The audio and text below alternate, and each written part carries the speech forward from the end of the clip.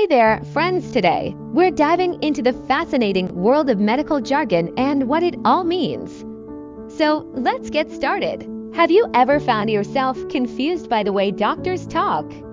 It's like they're speaking a different language, right? Well, you're not alone. Medical terminology can be quite puzzling, especially for those who haven't spent years in the medical field. Medical jargon is full of complex words and phrases that can make non-medical professionals feel like they're on another planet. But don't worry, we're here to demystify some of these terms for you. One example is medical dialogues. This term refers to the conversations between healthcare professionals that often involve technical jargon and specialized knowledge. While it might seem daunting at first, it's essential for doctors to use this language to ensure accurate diagnosis and treatment plans.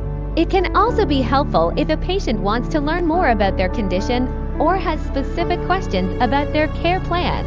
So there you have it, a quick overview of medical dialogues and what they mean. Remember, next time you hear your doctor using technical terminology, don't be afraid to ask for clarification or suggest simpler language if needed. After all, your health is your responsibility.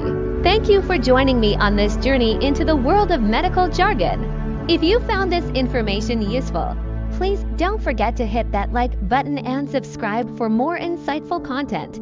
Stay healthy, friends.